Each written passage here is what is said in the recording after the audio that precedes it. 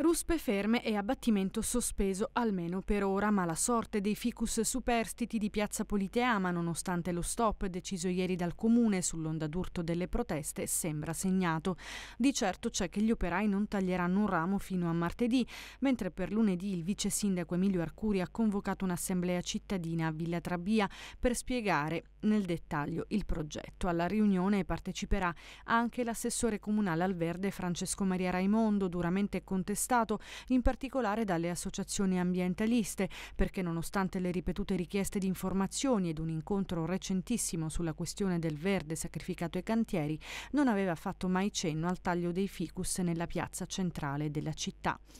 dalla società che cura l'appalto dell'anello ferroviario, la Italfer e dalla stessa amministrazione comunale arrivano risposte analoghe. Il progetto è noto a tutte le approvazioni del caso e comunque gli alberi tagliati, qui come nelle altre zone interessate dai cantieri, saranno sostituiti. Insomma, all'abbattimento non c'erano alternative né c'è una soluzione per salvare i due ficus che ancora restano in piedi nella piazza Politeama. Al loro posto dovrebbero arrivare iacarande, arance e frassini e anche di questo questo parleranno Arcuri e Raimondo durante l'assemblea di lunedì davanti ai cittadini e ai gruppi di ambientalisti invitati e che però all'amministrazione contestano anche silenzi e comunicazioni tardive su un aspetto della questione certamente non secondario, soprattutto laddove gli alberi siano vecchi di oltre 50 anni, ad alto fusto o addirittura identificativi come le tanto discusse palme che circondano il palchetto della musica e che il comune proverà a salvare con un riposizionamento ancora tutto da studiare. Le motoseghe seghe in piazza Politeama hanno scatenato, oltre alle proteste, anche una lunga scia di polemiche che è proseguita sui social.